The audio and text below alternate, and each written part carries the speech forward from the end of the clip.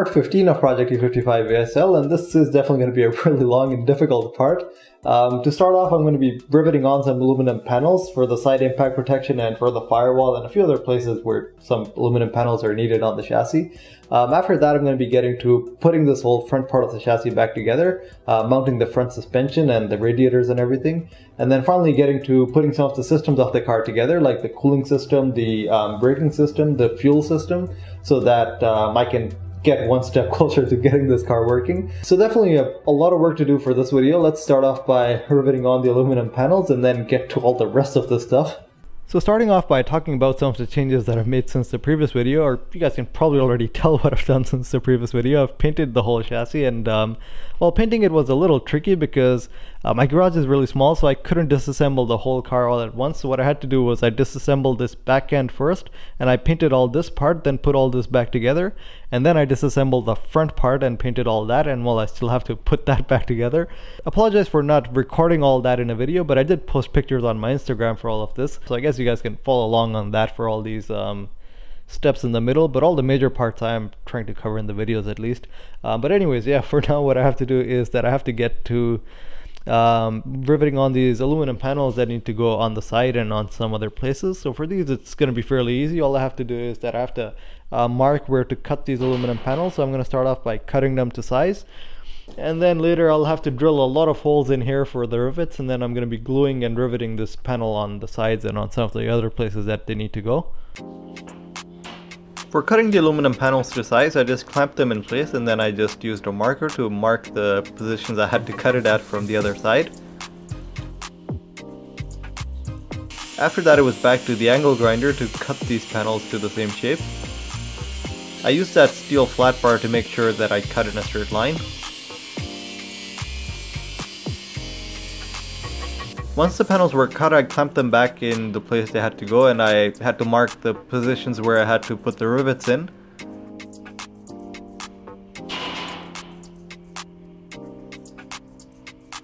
Once all the positions were marked, I had to center punch them and then drill holes there.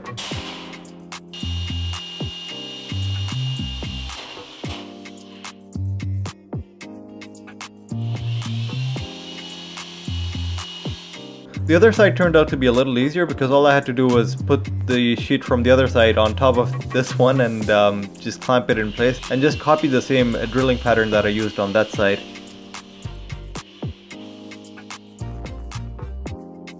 Before I could mount the side panels in place, I actually had to start by mounting these back ones in place because a few of the points where the rivets have to go, they become inaccessible if I were to put the side ones on first. For these back panels, I had to make them in two parts rather than just one big panel because the shape is really weird. It would have been impossible to put it inside the chassis it was just one big piece. Before putting the panels in place, I just needed to apply some adhesive on the place where these panels have to go. Um, now you might notice on the steel tube chassis there's a few places that are not painted. Um, so I left these places unpainted so that the adhesive bonds straight to the metal rather than bonding to the paint. Um, on a few of the other places I did accidentally paint them and I had to scrape the paint off later before applying the adhesive. Once the back panels were mounted in place, it was onto the side panels, so the same process, just applying some adhesive, then carefully putting these panels in place, and then spending a lot of time riveting everything together.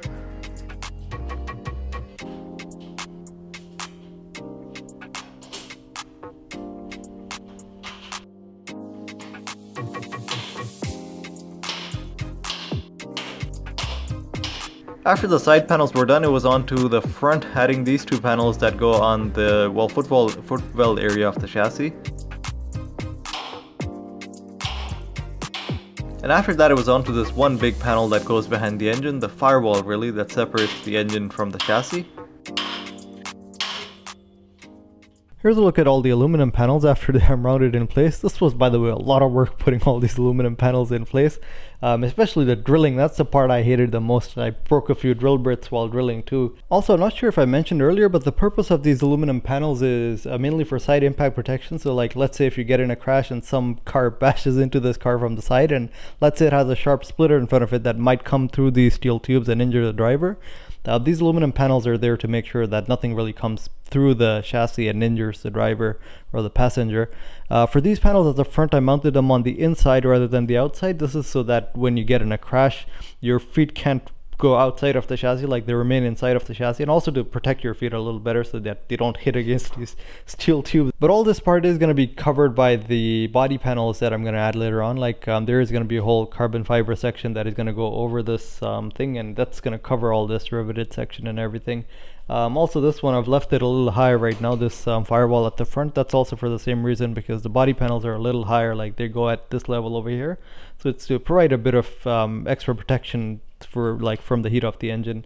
Um, I wasn't able to rivet these three parts over here, so I've added these clamps over here um, because I didn't remove the engine and transmission right now, but at a later time, if I happen to remove the engine and transmission, I'll also add rivets over there. The engine and transmission are pretty easy to remove, like it's just a matter of like unbolting those four bolts and two bolts on the transmission, but the problem is that I don't have that much space right now. There's literally no space at all to put the engine and transmission if I was to take it out right now.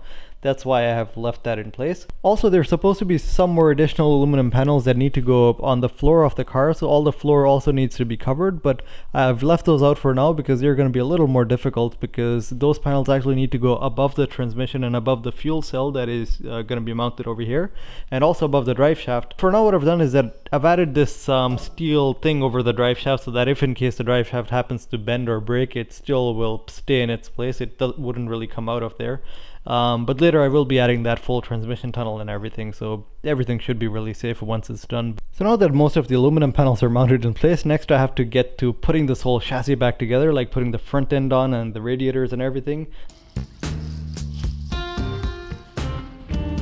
So I started off by putting the front end of the chassis back in place. This was a little difficult to do by myself because these bolting points have to line up exactly, uh, but after a bit of encouraging I was able to line them up properly. And after that I just had to bolt everything in place and torque it down properly.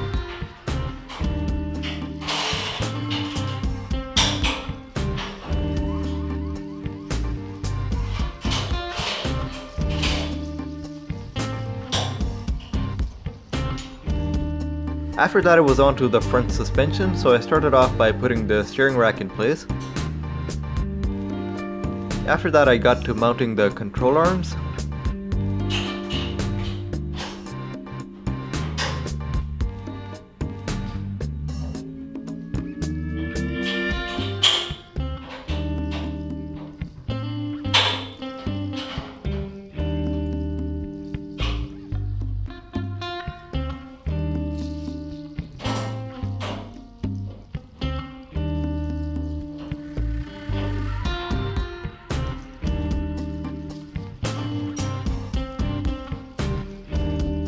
Once the spindle and everything was installed, next I just moved the suspension through its full travel range, making sure that none of the ball joints bind through the full travel range of the suspension, and also moving all the different steering positions and making sure that everything is still fine.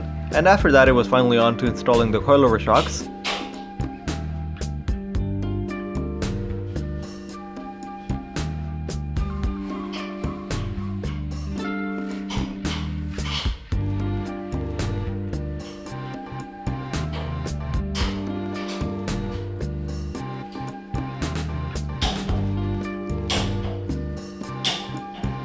Once everything was torqued down, I just gave it a good shake, making sure that there was no play in everything, because at this point there shouldn't be any play in anything.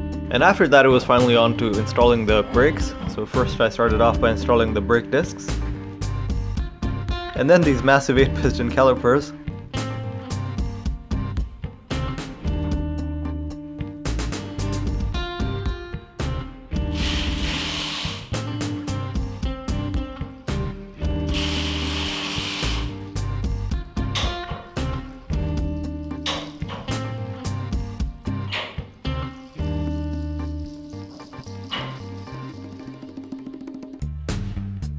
And after that it was just a matter of putting the crumple zone back on along with all the radiators. Um, so this construction makes it really easy to take the car apart and put it back together. It's a modular construction much like you find in race cars and um, of course the benefit is that it makes it extremely easy to work on the car.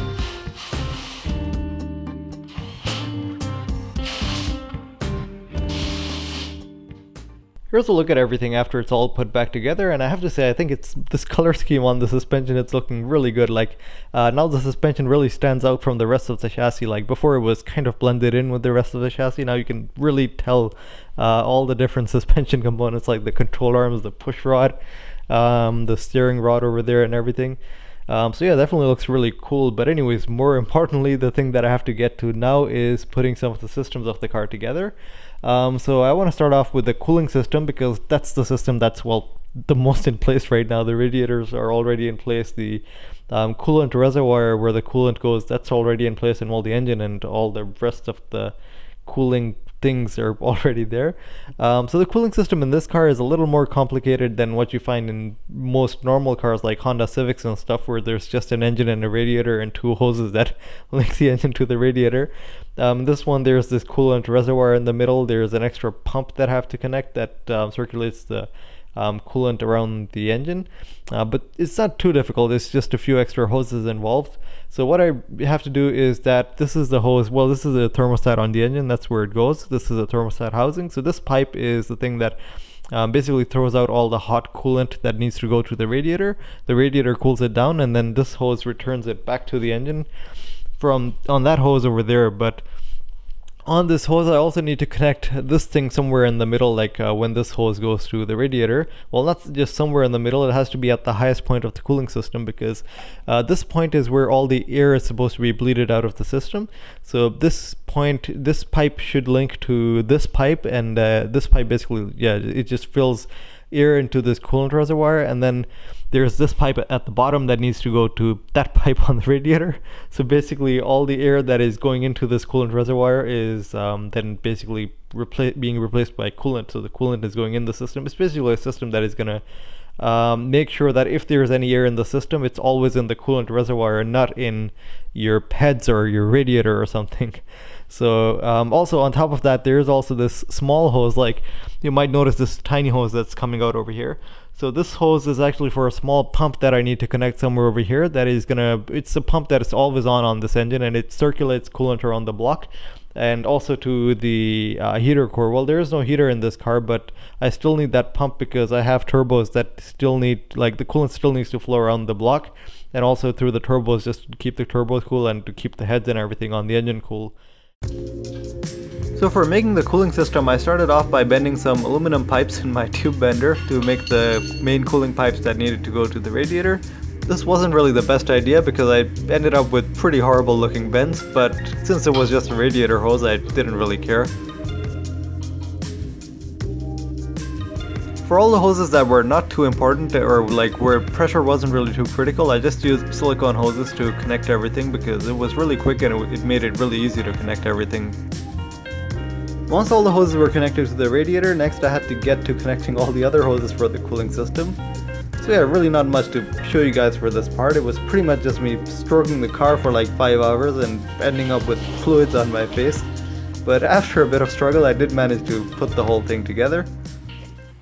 So after going through a lot of wire ties and silicone hoses, I finally managed to put the whole cooling system together. And actually, while I was at the cooling system, I also put the power steering system and uh, the engine oil cooler together. So anyways, going over the mm, cooling system. So this is the coolant reservoir that goes over here. This is the line for the air, like um, that's at the highest point of the cooling system, so it can bleed all the air out of the system. And um, this line at the bottom is now connected to this part on the radiator and then these are the main two lines for the radiator like that um, from the main pump that uh, flow coolant to the radiator and then back to the block. Um, for these lines yeah I've used aluminum lines. I haven't clamped some of these lines for now because I ran out of clamps but I'm gonna be buying clamps and then putting them on um, for securing the lines and everything, I've just used wire ties, like for securing these um, silicone hoses and stuff, because honestly, I find that the best way. It's quick, it's easy, and um, anytime you have to make repairs, it's way easier to cut these off and then put new ones on later rather than making brackets for it and then looking for a 10 millimeter spanner every time you have to replace a hose or something. So this way, I find it the easiest for me, at least. For the second pump that's needed for the cooling system, I've put that pump over here. So this is the second pump that flows coolant around the block. And the way that circuit works is that, well, it starts over here. So the coolant comes out of this head and then it goes into this T. Now, these, some of these parts are really crappy looking for me because the parts, the place where I bought all these parts from, it mainly, um, I guess, supplies industrial parts. It's, uh, well, the shop is called Fluid Lines at Sarah Oakville. Um, but the reason I went to them is because it made it really easy for me to piece this whole thing together. I just went with them with the list of all the pressures and temperatures I was dealing with, and they were able to supply, give me all the silicon hoses, all the connectors, all the fittings that I needed to put the system together. It made it really easy for me rather than looking for all these individual parts myself, would have, which would have taken a lot of time piecing this whole thing together. Uh, but anyways, the way this thing works is that um, the coolant comes out of this head, it goes through this T, which divides it into two paths. So one uh, line goes through this turbo and one line goes through the other turbo. And then from the turbo, it then goes to this pump. And then this pump pumps it back to the block. So the um, coolant is always flowing through the heads and also through the turbos to keep everything cool all the time or to keep everything at the same temperature all the time. Now there is a small improvement I'm planning to make to this system for later. Um, it was something that Tasos pointed out. Um, Tasos, if you don't know his channel, he rebuilds these AMG engines. I'll link it in the description below. It's a pretty cool channel. Um, so what he pointed out was that I should also open up this plug on this head. Um, it's located over here so that um, coolant can flow through both heads. So that's uh, supposed to make the coolant flow better and um, that way both the heads will stay close to the same temperature. Um, so what I'm planning to do for later is that I'll also open this plug and that way I can just cut this line off and connect it over here. So um, the coolant from this head will then flow go to that turbo and the coolant from that head will go, go to that turbo and hopefully will um, circulate the coolant a little better. I didn't do that for now because it's a hassle getting to that plug right now. I'll just wait for the next time I have the engine out and then I'll probably make that modification. Getting to the power steering system. So the power steering system was also fairly easy to hook up. All I had to do was I had to connect this high pressure line coming from the um, E55 power steering pump. That's the one over here. Um, that I had to connect to this Mazda Miata power steering rack. Um, this is actually a right-hand drive Mazda Miata power steering rack that are flipped upside down. That's why the lines are at the bottom rather than at the top. Um, but yeah, that high pressure line goes to the rack. Then the return line from that rack, it's actually I think the bottom blue hose over here. Um, so this line actually goes to the automatic transmission cooler. So like it's um, that line is coming from here going into this cooler. So there's actually an automatic transmission cooler built into this radiator. But since I don't have an automatic transmission anymore, I'm just using that cooler as the power steering cooler now. Um, so this fluid then flows through that cooler and then it returns back to the power steering reservoir over here. Um, a fairly easy circuit to hook up. The only high pressure thing it was this one line coming from the power steering pump to the power steering rack. The, all the other circuit is just a return line, so it doesn't really have any pressure inside it. For the engine oil cooler, all I had to do was I had to connect these two lines. So um, these two lines are the lines that go to the factory engine oil cooler on the E55, but I had them modified like I had these lines attached to them so that I could run an aftermarket oil cooler. I had done this before. Um, so this time all I had to do was I had to cut this hose off. I had to connect these um, longer lines on the front that run all the way to the um, engine oil cooler at the front over here now. So anyways, getting to the systems that are still left on the car. So one thing that is still left is the drain lines for the turbos. I still have to add a scavenging pump that is going to pump those uh, the drained oil from the turbos back to the engine. After that, I have to get to work on the fuel system and the braking system. So connecting all the brake lines, um, connecting the pedal box, connecting all the fuel lines and everything, all that stuff. And also a clutch line and also actually the induction system for the turbos as well. Um, so I was planning to work on some more of the systems in this video like the fuel system and the braking system but since this is already taking way too long I'm just gonna upload this video. A couple of you guys were already commenting that where's the next video so um, I guess I'll end this video over here but uh, the next video hopefully should also be coming pretty soon. That's uh, The next video is now going to be on the braking system and on the fuel system and um, hopefully some more systems, hopefully also getting started on the electronics of the car um, because that is something that I really need to get to. I need to get to installing an AEM Infinity ECU and um, also linking up all the electronics of the car because there's a couple more circuits that are going to go in this car which um, I'm probably just going to leave for the next video to talk about. So yeah, this is going to be everything for now. I'm going to try to keep working on the car, try to get the next video up um, as quick as possible too, hopefully sometime next week. But yeah, anyways, thanks a lot for watching and I'll see you guys in the next one.